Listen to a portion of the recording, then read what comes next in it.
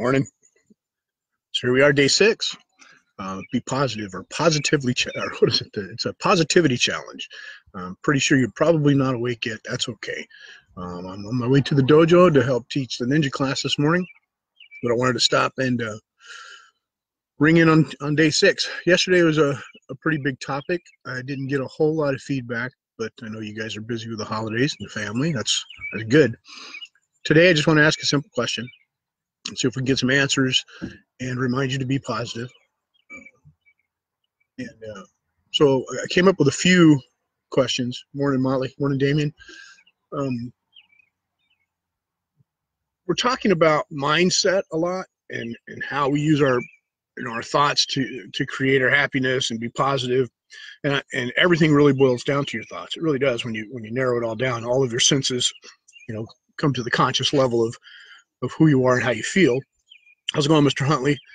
Um, let me ask you this. There's a couple of questions. What is it that really makes you happy? And is your happiness truly determined by that thing, idea, feeling, whatever? Um, you know, we can go through the five senses. We can do all of our five senses, and you know, there are certain smells that make people happy. I've, I've learned to, you know, touch, taste, smell, and so, morning, Steve. Uh, morning, Andre Motley. Um, Mr. Burton's on too. So tell me about that. And then I've had some students that I've that I've mentioned this to, and in my life, it, it made a, it made a difference. And I know as we get older, you, you know, when we were younger, we heard our parents say that music that you listen to is terrible, and it's gonna, it you know, makes you a bad person. And we, I think we've all grown up listening to that, or listened to our parents say that. And now that I'm older, and I listen to some of the music that's out there, I wonder if the music that some people listen to has a direct effect on being positive or uh, and however you define it, of course, or f- feeling good about themselves or feeling happy. What do you guys think? You know, is it just old age speaking, or is there some truth to that? Um, I've played a lot of different music, sang for a lot of different bands in a lot of different genres. And I can tell you that you know the Journey tribute band, you can't go wrong with Journey. it's, uh, people love Journey, and it, the the lyrics of the songs that we sing or that we do anyway are pretty much positive, even though some of them are about you know breakups and they're all pretty much about love. And um, it, I noticed the audience responds a lot differently than when I did the Dio, Ronnie James Dio tribute band. Um, that audience was also happy to hear the music and love the music and listen. Ronnie, Ronnie's great, and if you listen to his lyrics, they're a lot about magic and love, and you know, there's some some that aren't, but most of them are. But the audiences that I sang to, uh, some of them were really aggressively we love this. It was a different feeling altogether. Is that positive? I, I don't know. Is it happy? I don't know.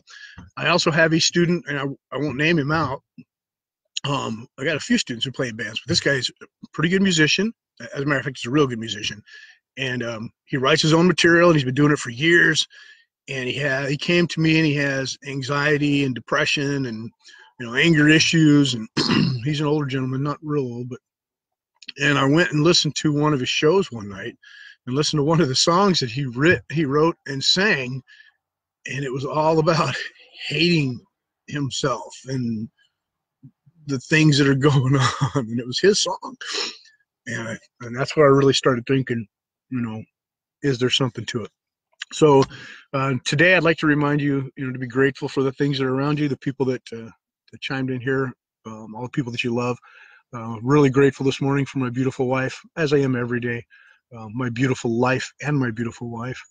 the, the, students that are waiting for me at the dojo, uh, you guys for chiming in. So be grateful, uh, be positive, be happy, change somebody's life today. Let's answer the question though.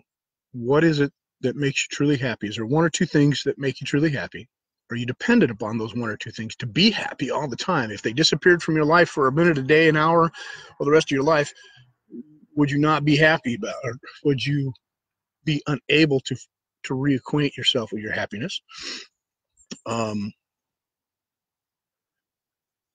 I guess that's that's pretty much it. Thanks a lot for tuning in. Again, this is day six of our positive challenge. Uh, beautiful morning. Um, Mr. Motley, Mr. Abbott, my wife, and Mr. Huntley, uh, Mr. Burton, Miss Bowser, Your Honor, again. Good. Sarah, hi, Sarah Killen. Um, good morning. Good morning, Mr. Burton. Um, I'm going to go teach now. I love you guys. Um, I think on starting on Monday, we've got one more day. Tomorrow, Sunday, I'll, I'll go live from this location. But I think on Monday, I want to try and go live from YouTube and see how that works. This is most comfortable for me, but we'll see what happens there. Again, day six a positive challenge. Have a great day. I love you, and I'll talk to you later.